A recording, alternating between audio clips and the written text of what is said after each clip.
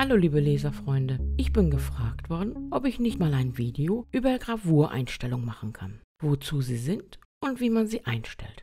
Die All-in-One-Einstellung gibt es leider nicht, da jedes Medium, jedes Bild und natürlich jeder Geschmack einzigartig ist. Anfangen möchte ich mit der Option der Bildeinstellung im Schnitteinstellungseditor der Ebenen. Mit einem Doppelklick auf die Ebene öffne ich den Editor. Ich gehe mal davon aus, dass die Einstellungen für Leistungen bekannt sind.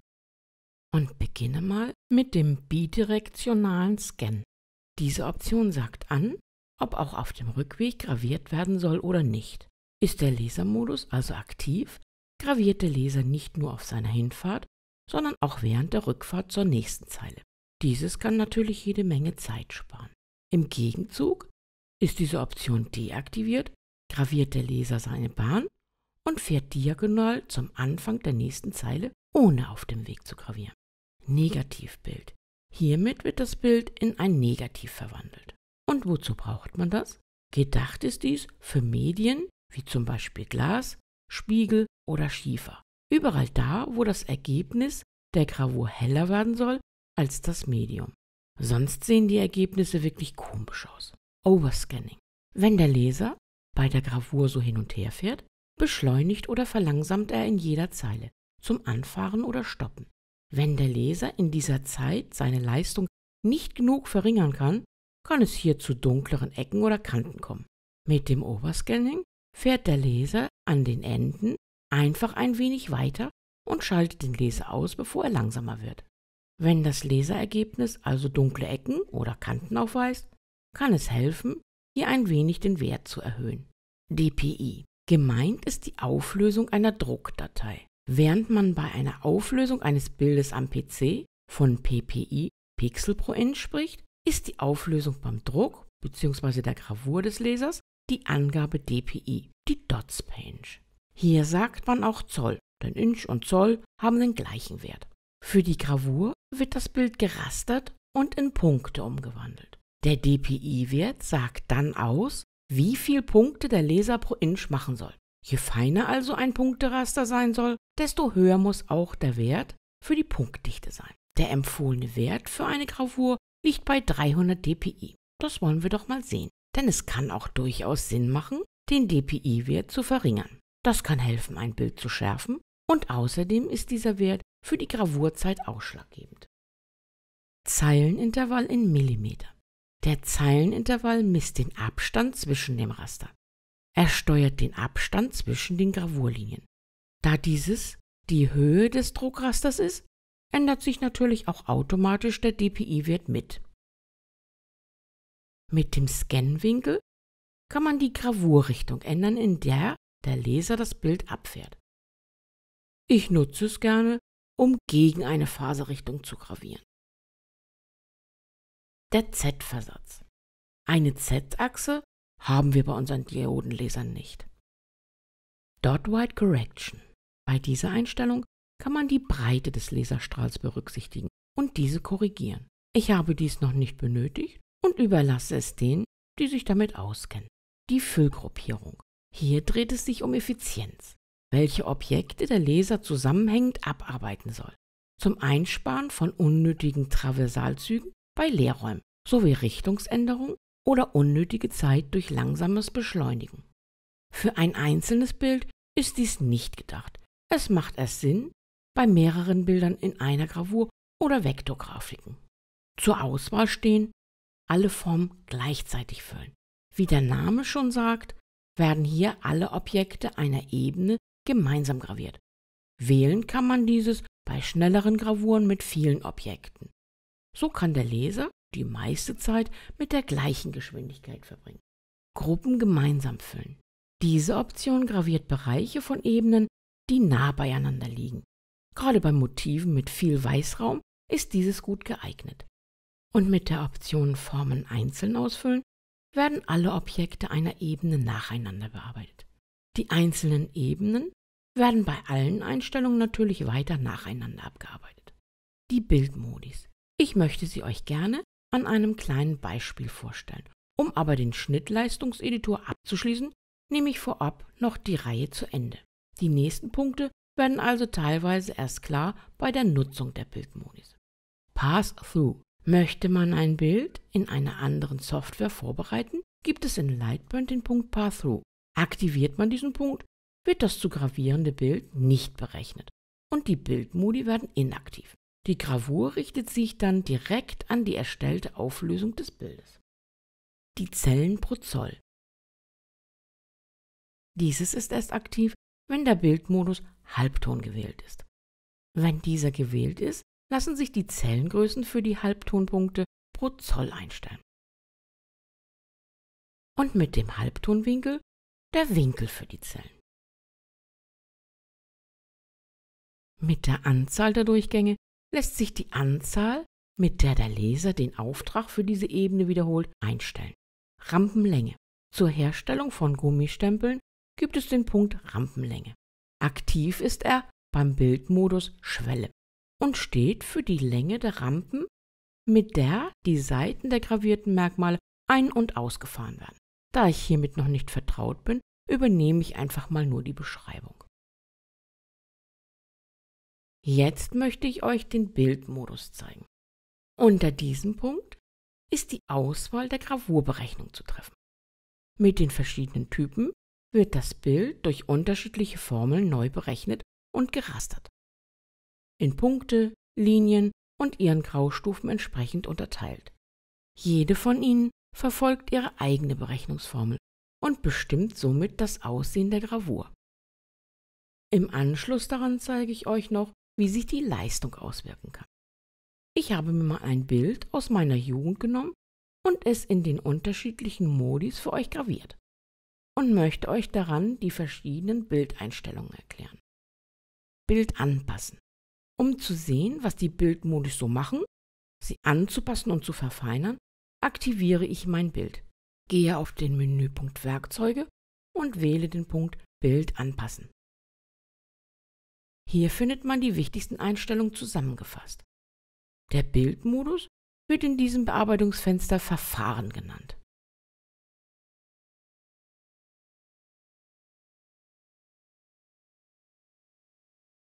Zellen pro Zoll, Halbtonwinkel sowie die Angaben für die Auflösung.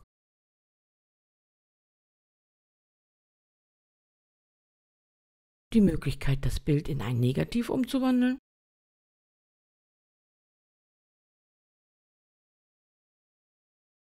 Und verschiedene Bildeinstellungen für Kontrast, Helligkeit, Gamma, Radius und Betrag.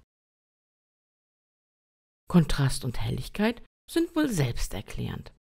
Und der Gamma-Wert ändert die Helligkeitsinformation. Grob gesagt sorgt er so für eine feinere Abstufung zwischen den einzelnen Grauwerten. Radius und Betrag. Diese beiden Werte gehören zusammen. Sie sind für das Hervorheben von Kanten gedacht. Bei diesem Modus werden die Bereiche mit geringem Wechsel zwischen den Helligkeiten verstärkt. Dieses kann auch die Bildschärfe verbessern. Während man mit dem Radius die Größe des Bereiches bestimmt, wird mit dem Betrag die Stärke eingestellt. Außerdem eine Funktion zum Speichern und Laden der Einstellung, um zum Beispiel bei sich ähnelnden Bildern schnell seine Einstellung wieder hervorzuholen. Und wenn alles Quatsch war, ein Button zum Zurücksetzen der Werte. Bestätigt man das Bild mit OK, werden alle Einstellungen in der jeweiligen Ebene in ihren Einstellungen abgeändert. Außerhalb dieses Menüs und wie schon vorab erklärt, sind die Einstellungen Farbumwandlung auch im Schnitteinstellungseditor vorhanden. Und die Bildeinstellungen können auch im Reiter Formeigenschaften eingestellt werden. Das Wichtigste in diesem Fenster ist für mich aber die Vorschau der beiden Bilder, vorher und nachher, und die Größe des Bildes für die Auflösung. Das Fenster lässt sich bequem auf volle Monitorgröße einstellen. Das erleichtert die Ansicht. Mit dem Scrollrad der Maus kann ich das Bild zoomen und mit gedrückter linker Maustaste kann ich den Ausschnitt verschieben. Zunächst schaue ich nach der Auflösung und stelle die empfohlenen 300 dpi ein. Mein Bild sollte natürlich mit 300 dpi erstellt worden sein. Möchte man wissen, wie viel nun diese 300 Dots per Inch in Millimeter sind? Teilt man die 300 dpi durch 25,4. Die 25,4 stehen für den Umrechnungsfaktor, um von Inch auf Millimeter zu kommen. Ein Inch gleich 2,54 cm gleich 25,4 mm. Ergebnis 11,811 Dots per Millimeter. Der Zeilenabstand bei einer Auflösung von 300 springt dann automatisch auf 0,085. Und wie setzt sich dieser Wert zusammen? Ganz einfach. Man teilt die 25,4, den Faktor für Inch und Millimeter, durch 300. Da 1 mm Zeilenabstand 25,4 dpi ist. 25,4 durch 25,4 gleich 1.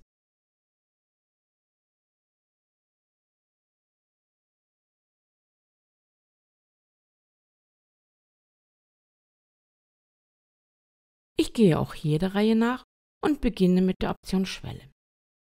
Wenn man ein Schwarz-Weiß-Bild möchte, ist man bei der Schwelle richtig. Man sollte das Bild aber vorab in einem Bildbearbeitungsprogramm vorbereiten und in ein Schwarz-Weiß-Bild konvertieren.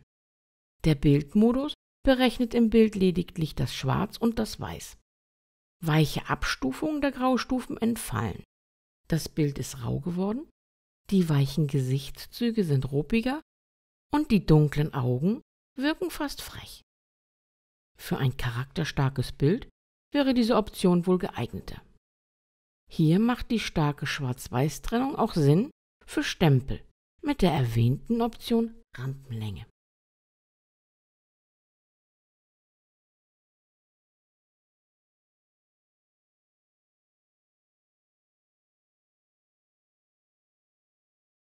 Wie der Name Ordered schon sagt, sind in dieser Berechnung die Punkte regelmäßig in seinem Raster angeordnet.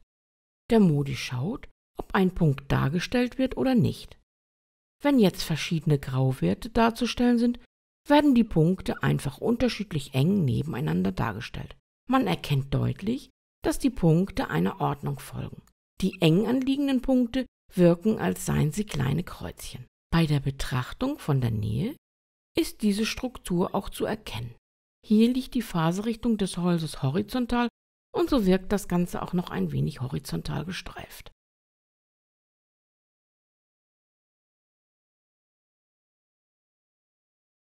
Bei Atkinson ist die Berechnung ähnlich wie beim Modus Mjavis. Ein Vorteil ist hier, dass die Berechnung hellere oder dunklere Bereiche etwas genauer berechnet. Zum Vergleich zeige ich euch später noch die beiden Gravuren zusammen. Die Gravur ist bei meinem Foto, wie ich finde, eine der besten.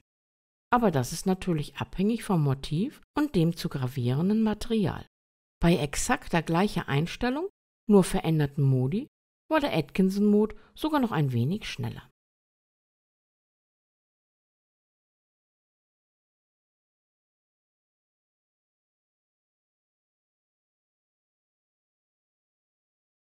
Dithering. Bei der Berechnung des Rasters für diesen Modus ist die Anordnung etwas schwerer zu verstehen. Das Raster besteht ebenso aus Punkten, die durch ihre unterschiedliche Dichte Abstufung darstellen. Gelesen habe ich, er sei geeignet für Bilder, die gleichmäßige Abstufung haben. Da mein gewähltes Bild dieses hat, ist auch hier das Ergebnis eine gute Wahl. Aber durch die nicht zu durchschauende Anordnung sind die gesetzten Punkte in der Gravur, wie ich finde, im Gegensatz zum Atkinson etwas wilder.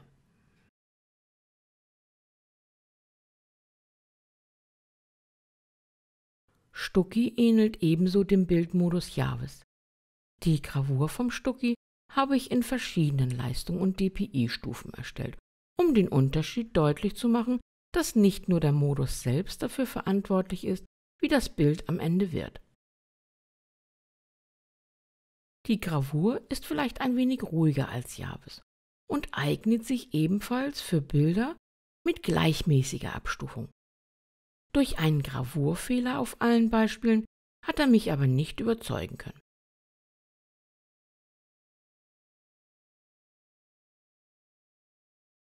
Javis.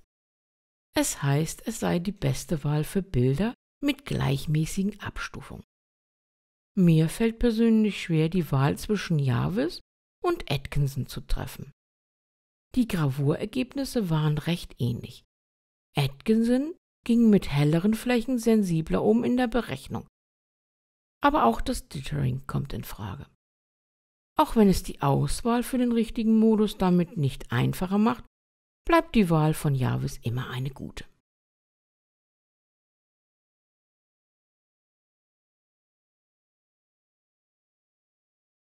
Newsprint. Die Option Newsprint ist ebenso einer meiner Favoriten. Wie der Name sagt, berechnet dieser Modi das Bild in Raster- und Punktdarstellung als Annäherung an einen Zeitungsdruck. Hier ist für eine gute Abstufung gesorgt und wie man sieht, bilden die zusammenhängenden Rasterpunkte immer ein kleines Muster. Das Muster ist auch gut in der Gravur zu erkennen. Hier ist das Bild mit Vergrößerung für euch dargestellt. Das Original misst gerade 8 x 11,5 cm. Betrachtet man das Bild also nicht aus direkter Nähe, ist das Bild sauber und gut zu erkennen. Die weichen Züge der Abstufung und das Gefühl an das Originalbild sind hier wirklich gut getroffen.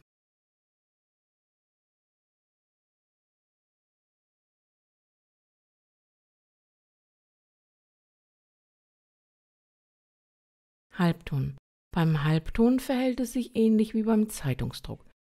Hier lassen sich die Zellen pro Zoll und die Halbtonwinkel verändern. Die Muster des Rasters kann man gut in der Gravur erkennen. Gerade im Wangen- und Schläfenbereich ist das Muster fast schachbrettartig. Natürlich lassen sich hier, wie auch bei allen anderen Modis, feinere Einstellungen treffen. Ich möchte euch nur die Funktion des Modus zeigen.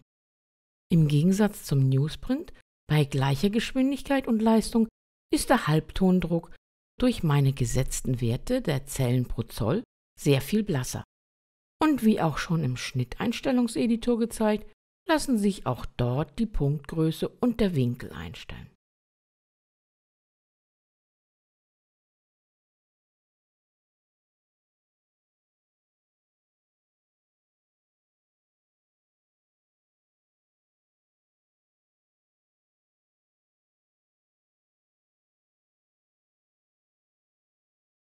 Sketch. Dieser Modus versucht mit seiner Berechnung harte Kanten zu erkennen, verstärkt diese und erzeugt so etwas wie eine Strichzeichnung.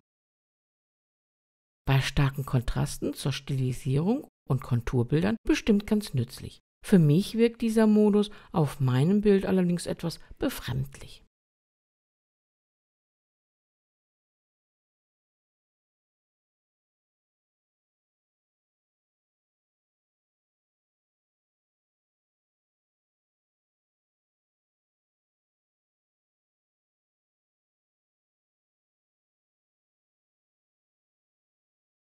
Graustufen. Eine sehr schöne Methode, Graustufen zu gravieren, ist der Modus mit gleichem Namen. Mit diesem Modus wird das Bild in ein durchgängiges Linienraster unterteilt. Die Grauwerte werden durch unterschiedliche Leistung dargestellt. Mit Maximal und Minimal kann der Wert der Laserleistung der zu gravierenden Linie eingegrenzt werden. Ist in der Vorschau das gesamte Bild schwarz, muss die Option für die Schattierung nach Leistung aktiviert werden. Der Grund dafür? Die Vorschau macht keinen Unterschied in der Laserleistung. Und da das Linienraster schließlich den gesamten Bereich des Bildes graviert, ist alles schwarz.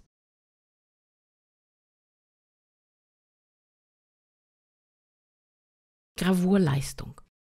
Ich habe den Bildmodus Stucki gleich mit mehreren Leistungsstufen graviert. Ähnlich einem Parametertest habe ich ihn mit 30, 40 und 50 Prozent Leistung mit 300 dpi gemacht. Bei den Beispielen ist schön zu sehen, wie das Bild immer gleichmäßiger wird. Die Variante mit 30 Prozent weist starke Lücken auf und ist streifig. Wie erwähnt hatte ich bei diesem Modus durchgängig ein paar unschöne Fehler, als würde sich die Leistung abrupt verändern. Da ich dieses bei keinem anderen Modus hatte, lasse ich meine Spekulationen dazu mal offen. Ich habe die Gravur mit 150 dpi wiederholt.